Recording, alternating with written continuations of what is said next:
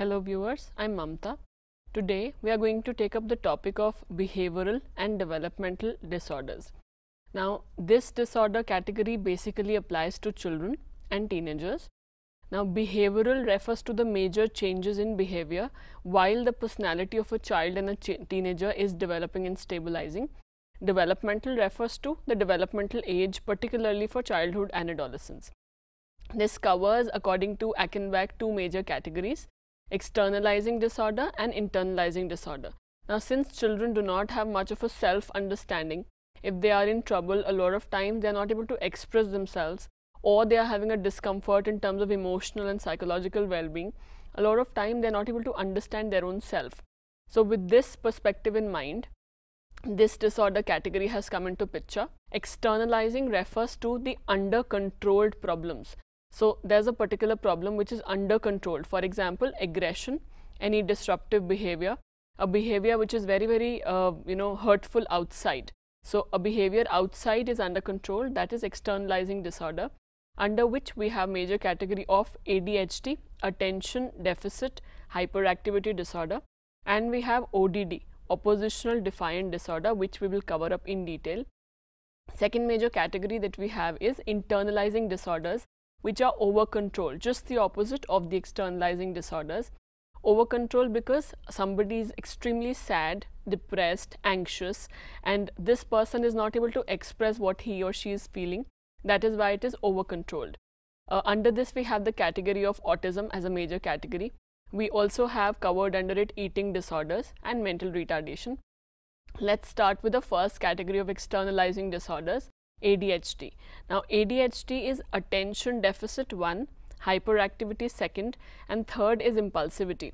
This has three categories. Now a child having ADHD ideally should be diagnosed by 7 years of age so that if the level is high medicines can be started.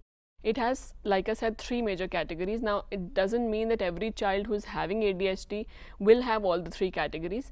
It's a combination. A child may have impulsivity, hyperactivity combination other may have impulsivity and attention deficit, it depends. Let's look at the symptoms of all these three categories. Attention deficit refers to inattention. So, a child is not able to sustain the mental effort. He is not able to do the task for a very long time. So, the focus or the concentration is for a limited duration and then the child gets bored. So, such a child will start off a work and will get bored and leave the activity. Suppose uh, a child starts with tennis playing. He'll do it for some time, 15 days, a month, will get bored, shift to another. A child is doing a certain math sum, will again get bored and shift. So, that is inattention. A lot of times parents complain that this particular child is not listening to instructions. Now, such children normally, uh, they are, it's not deliberate that they're not listening to instructions. It is basically that they are not able to focus their attention on a particular task. So they end up being very, very disorganized. They end up being very, very forgetful and they are not able to remember things. Uh, this is a major problem with attention.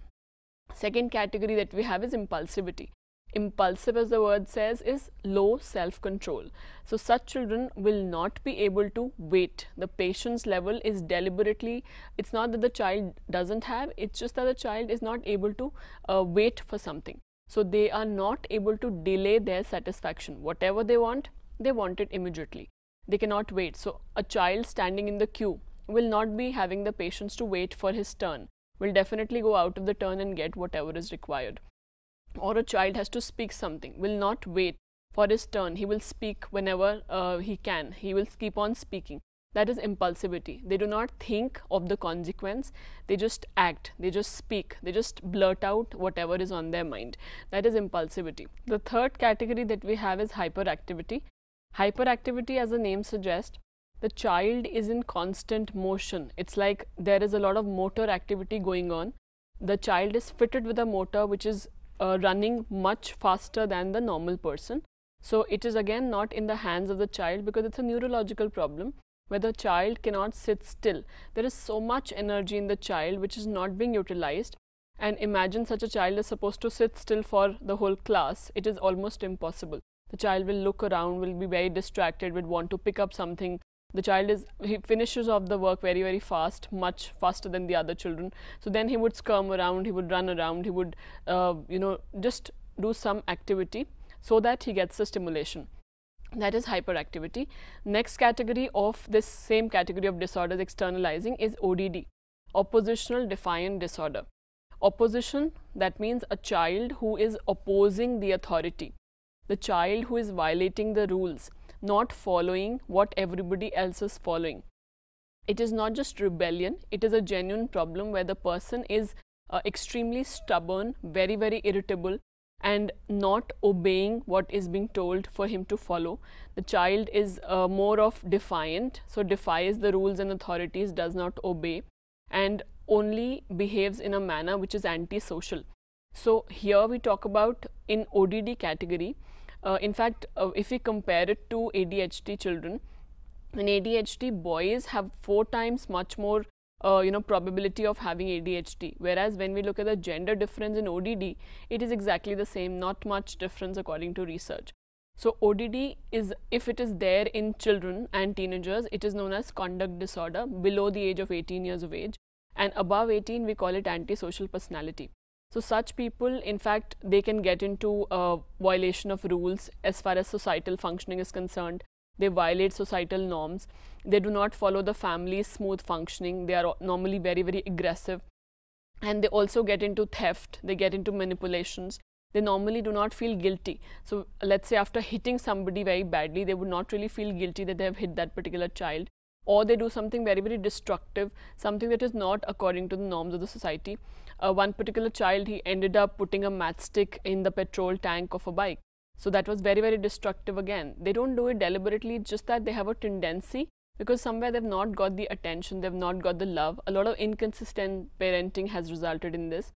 And along with this we call it aggression category majorly. Aggression in the sense it could be verbal aggression when we look at it uh, terms of um, the hostility comes out in the form of abusing or swearing or any fights that they pick up. And then we have physical, which is actual fights happening. The physical aggression takes place of in terms of uh, the hostility comes out in fighting and physical, uh, you know, hitting somebody. Then we have proactive aggression. Proactive is a kind of a bullying where the child is uh, troubling somebody and having fun at its cost, manipulating things and having fun, which is uh, not really resulting because of any factor. It is proactive. Uh, second category after ODD that we have is internalizing disorders. So in internalizing, like we already know, it's over-controlled categories, over-controlled uh, problems of behavior. And first under this we have is SAD, which is a, a separation anxiety disorder. Now separation anxiety, particularly when children are too much attached to their parent, it could be one parent or both of them, very, very attached, whenever they have to sit by themselves, whenever they are sitting left alone in a room, they feel very, very insecure. They panic. So imagine such children going to school, what kind of fuss they would create. They would throw so many tantrums because they feel so much anxious when they are separated from their parents to whom they normally cling on to and they are very dependent on the particular set of parents. So they're very fearful and they are not able to face and you know be in new situations because they are very very insecure about being left alone and they normally avoid separation from their parents and they throw a lot of tantrums and fuss for that reason. Second category of internalizing is depression. Now when we talk about depression, this is basically age-wise like we say developmental. So infants, how do they express their depression where they are sad, they are passive, they don't respond when the parents are calling out to them. A preschooler would appear very, very withdrawn and inhibited would not really speak up, will be quiet and there'll be mutism. The child will not share, will be very sad and upset. Then we have school age children. How would they express their depression? They'll be very, very argumentative and combative. They will fight back, retaliate, counter attack. Then coming to teenager, they normally get into a lot of guilt and they have these negative thoughts, hopelessness, helplessness. That is how they express their depression. The third category of internalizing we talk about is the PDD category it is pervasive developmental disorder. Pervasive because it spreads on, in fact, it is there for life. And developmental because it is normally seen in children and teenagers, and then that pattern remains. This is a severe impairment particularly in social functioning, the social interaction, the communication, expression, eye contact, body language and a lot of stereotypical behavior. So, a child is constantly rocking off and on and that is a stereotypical movement. We have to cover up autism as a major category under PDD. Now, autism when we talk about particularly uh, there is no eye contact in such children they normally are not very socially responsive to cues. So, uh, somebody calling out to them, somebody showing affection to them, they would not respond back. They would just be in their own world doing whatever. Suppose a child is playing with a car, will keep on doing it whether mother is coming in uh, talking to the child, child will be not responsive totally. So, there is a big communication problem, their speech is very, very retarded. They normally keep on repeating the same word, that is a problem and in fact such children have very restricted interest. They do not like any kind of change.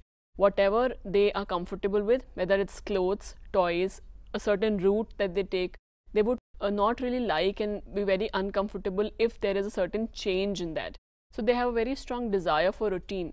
And in fact they a lot of times stimulate their own self. So a child let's say might end up doing a very harmful thing of hitting his head in the wall but he's liking it because it is giving him stimulation that is how they get the stimulation so it is self stimulatory activities they would get end up doing and they, it could also be harming themselves such children are very uh, fond of music also a lot of such children are very talented also it varies from child to child and 70% of autistic children are also having the category of mental retardation that is MR.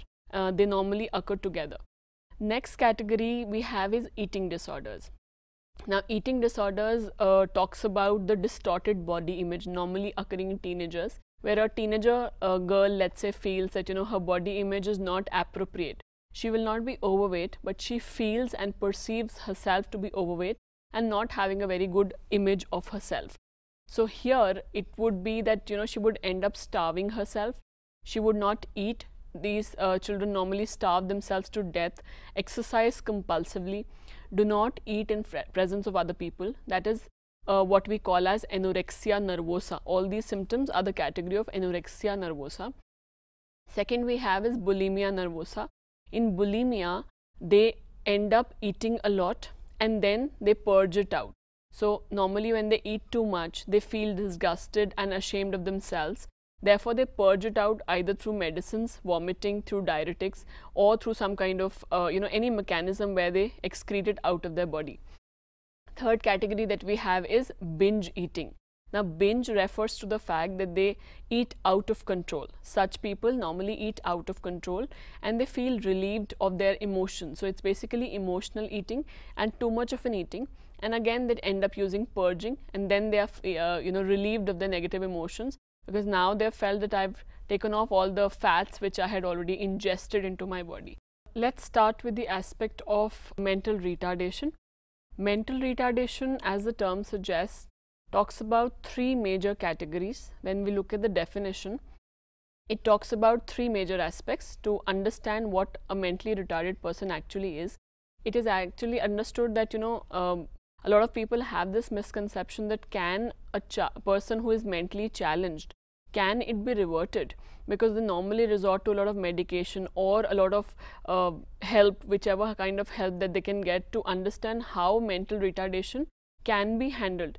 But once the damage has already occurred once the neurons have already or the structure has already been damaged it is impossible to revert it.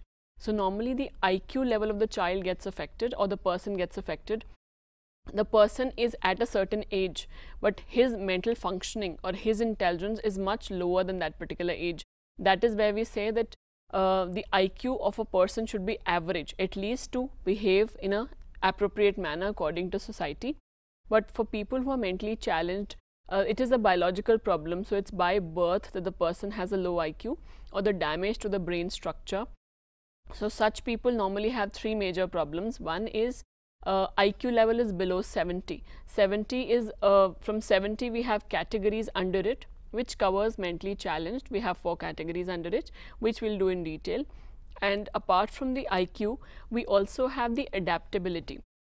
Now, such people because the IQ is low, a person who is not having a mental capacity which is average, the person is having according to the particular age.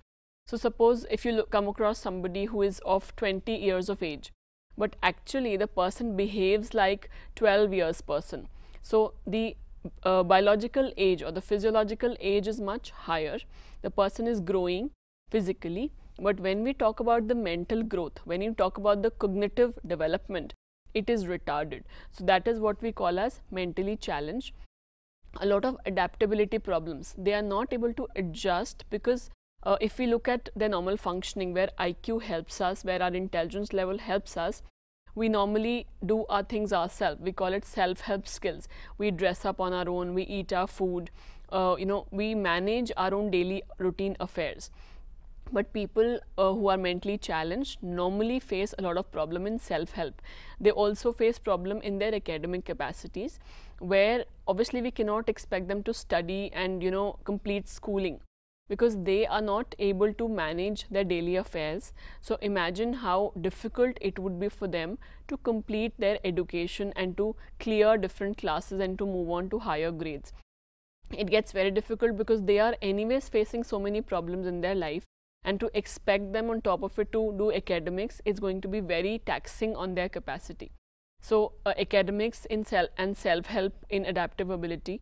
We also talk about their social skills in that in general when we talk about social skills, we normally say that, you know, they do have expression of their emotion, they do have language that they develop depending on the category, of course, which we will look at in detail.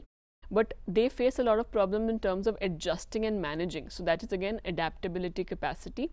And in this, we talk about whether they marry. This we'll do in detail about the different uh, aspects under it. And last category that we have of the definition talks about below 18 years of age. Now, obviously, a child who is at a lower age uh, mentally will be identifiable much easily. So, they are identified below 18 years of age. That's about it for the definition of mental retardation. That's about it for now. Thank you.